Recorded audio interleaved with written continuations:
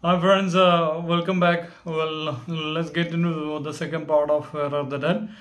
Um, uh, so uh, thank you so much for your uh, you know uh, great support and uh, um, the last part one was well accepted. Um, thank you so much for your valuable time. Well, in this video, very interesting, more information is awaiting for you. Stay tuned and watch till the end of the video. Welcome all everybody into the Bible study with the Matthew channel.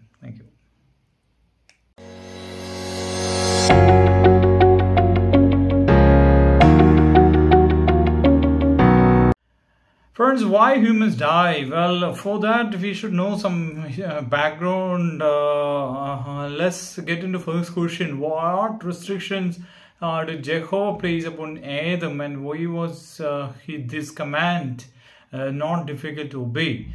Well, um, for that, let's read Genesis chapter 2 9. It reads, Thus Jehovah God made to grow out of the ground every tree that was pleasing to look at and good for food, and also the tree of life in the middle of the garden, and the tree of the knowledge and the food and bad.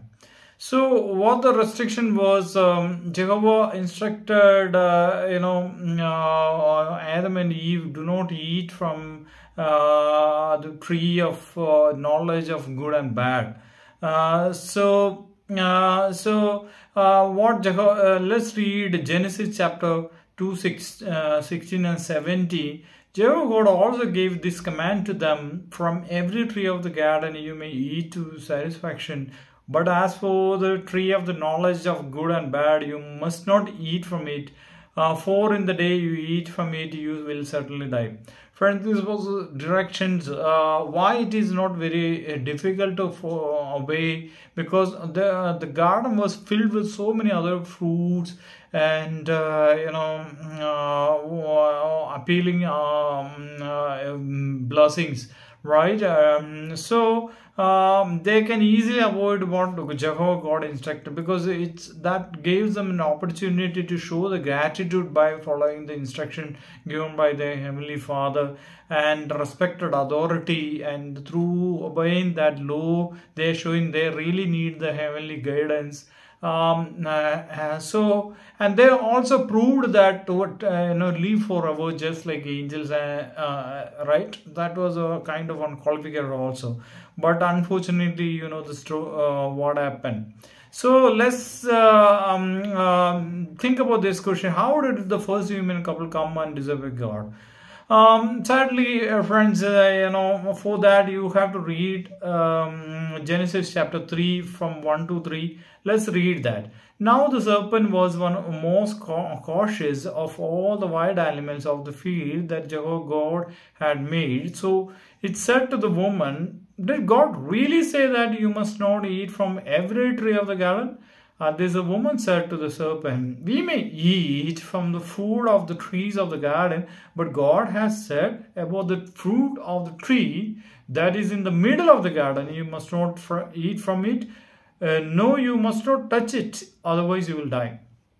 So, uh, this is that uh, incident.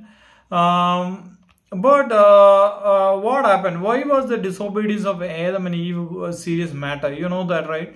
Um, Eve started eating, then later he approached Adam and said, Well, you also eat it. And because of A- Eve, well, he also uh, he, he, he ate that fruit. Uh, so, through that, uh, they disobeyed the God's law.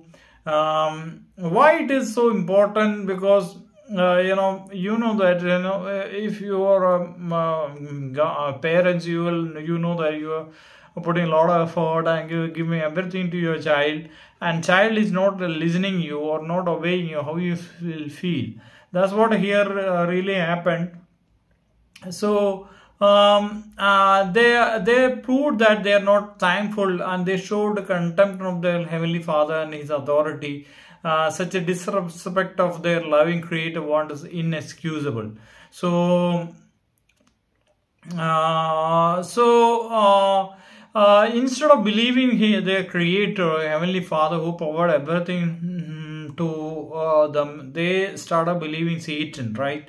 So we will discuss more about satan how he formed things like that. We will see later but uh, that is what happened it's a really was painful so uh, uh, let's think about this question friends then uh, what may help us to understand how Jehovah felt when Adam and Eve took course of opposition to him well as I said it was a great heartache because you know as a loving father he provided everything um, uh, to his son and daughter, but uh, you know they disobeyed. Right? It was uh, very painful to uh, as a father uh, to heavenly Father.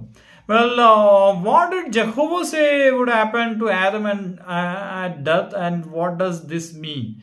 So Jehovah told them, okay, you will die, right? So what happened? For that, let's read chapter um, Genesis chapter 3 and verse 19 reads, in the sweat of your face you will eat bread and until the return to the ground, for out of you were taken for dust. You are uh, you are and, the, and to dust you will return. Here the curse, that real death. And um, uh, you know mm, um, you if you want to leave you have to work hard.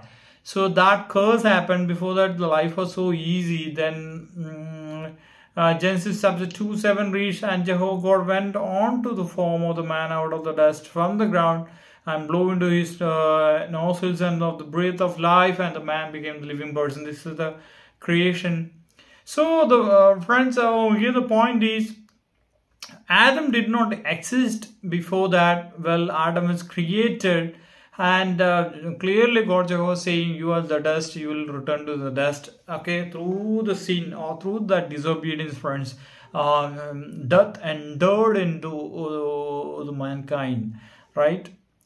So uh, but uh, it's clearly saying after the death is you will be no more. You was a dust and you created out of dust and you will go back to the dust. It means before the creation of adam adam doesn't uh, didn't exist well after the death adam will not exist.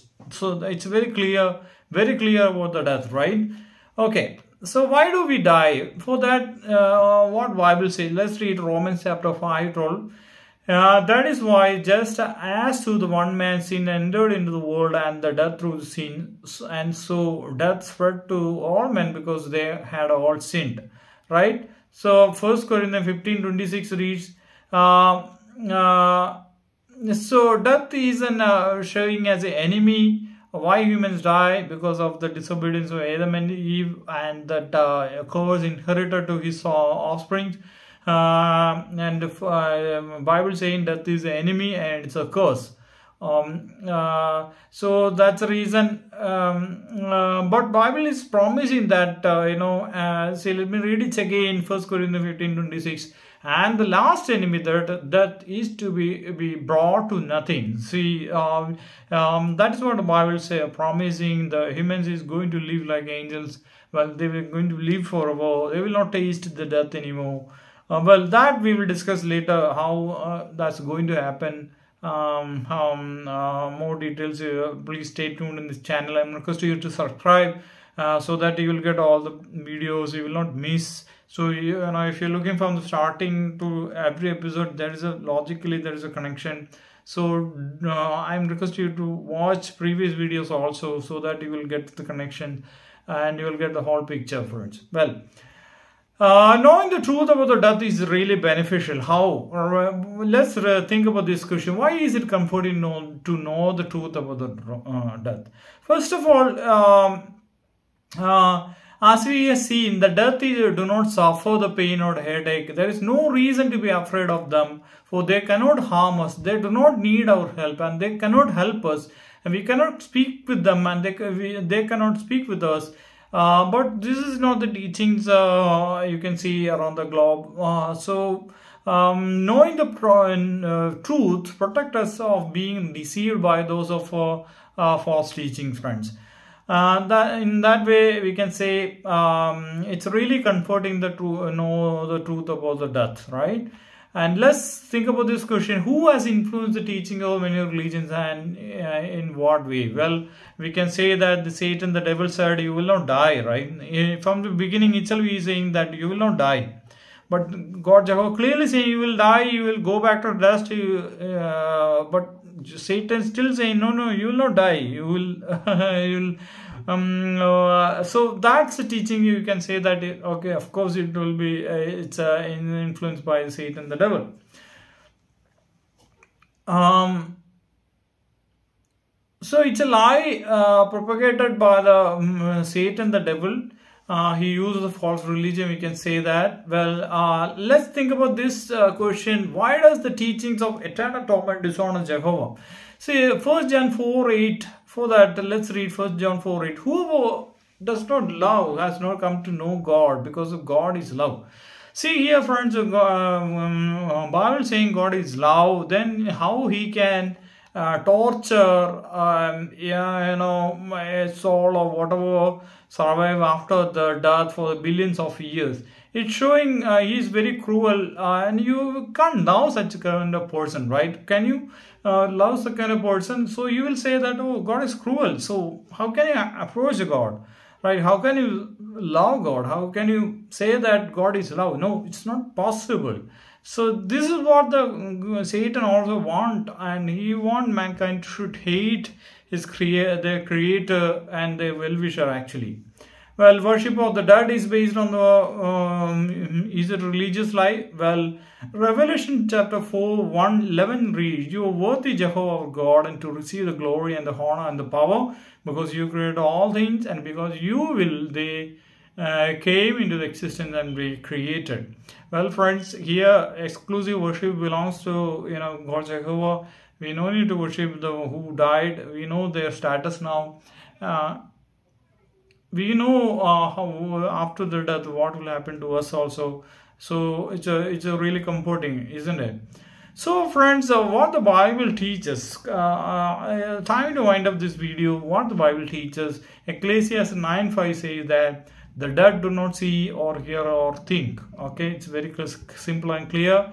And john 11 uh, 11 says uh, you can uh, learn from that scripture the dead are asleep they do not suffer. Okay it's really comforting. Mm, romans chapter 5 also says we die because we inherit a sin from adam. So friends you got um, uh, the question answer from these two parts uh, where are the dead and what happens to us when we die? Why do we die? Would it be comforting to know the truth about the death? Of course it is friends. So i hope you enjoyed this video and uh, you know share your comments and also, uh, as i said you can subscribe if you're interested to know more about from the bible. Uh, so many exciting questions and answers we'll discuss in upcoming videos. Stay tuned friends. Thank you so much for your valuable time. Thank you so much for watching and around the globe there are audiences so mm, uh, france australia us uk uh, i'm i'm very thankful for everybody and uh, thank you so much for interest. Uh, i believe by spending time to watch the bible based topic and its uh, um, real answers heavenly father also will be very happy. And really you deserve blessings from heavenly father. Um, um, thank you so much uh, once again and uh, see you all very soon. Bye. Take care.